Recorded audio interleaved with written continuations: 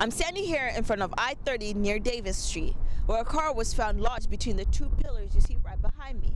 The car is said to have belonged to UTA student Tajin Tadis, and his passenger was Mateo Reyes. Both UTA students were fraternity members of Pi Kappa Phi and also roommates. Both students were confirmed dead at the scene by Arlington police, and their accident is still under investigation.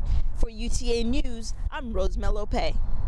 Less fortunate individuals will feel warm this winter with help from UTA Radio. The Beta Theta Pi fraternity are here at J. Gilligan's to raise funds for their fraternity. I'm standing here on Main Street at the site of the annual Main Street Fort Worth Arts Festival here in downtown Fort Worth.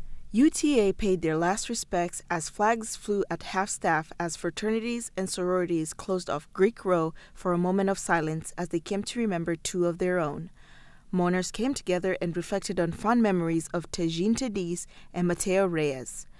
The group, made up of friends and family, had a candlelit vigil as they paid their last respects to their friends. I'm standing here in front of I 30 near Davis Street, where a car was found lodged between the two pillars you see right behind me.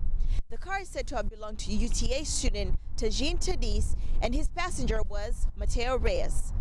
Both UTA students were fraternity members of Pi Kappa Phi and also roommates. Arlington police responded to a, a, call about a, a wrecked vehicle on Interstate 30 right under the Davis Street Bridge. When officers arrived, they found an SUV that was flipped over upside down, trapped between two pillars of the bridge.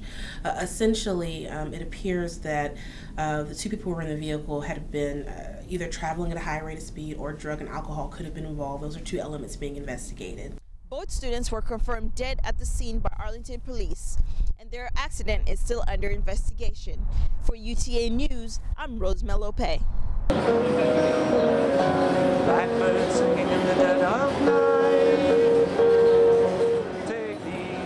What a day to start with the sweet sounds of creativity that filled the air in downtown Fort Worth over the weekend. I'm standing here on Main Street at the site of the annual Main Street Fort Worth This annual arts festival was buzzing with all sorts of arts and crafts from various artists from all over the country for locals to see, and food for all to enjoy. That also included UTA's Performing Arts sponsoring a concert stage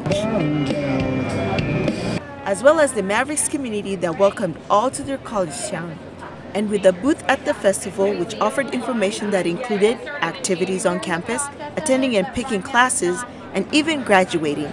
Success, what UTA is all about. Um, well, we are the presenting sponsor here at Main Street Art, uh, Arts Festival, and we've been uh, involved in the festival in some form or fashion for the last five years. And so we're just out here giving information about our Alumni Association, our programs here at the Fort Worth Center, and then undergraduate programs that we have on the main campus and graduate programs, and just kind of promoting the university. A lot of people come in here different ages.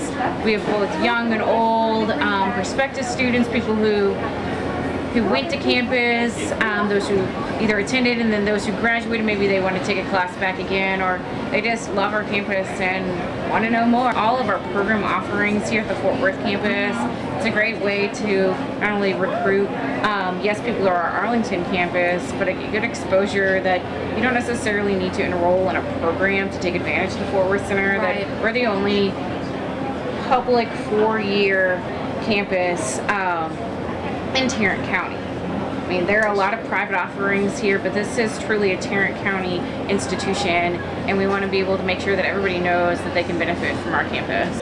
For UTA News, reporting from Fort Worth, I'm Rosemell Opee.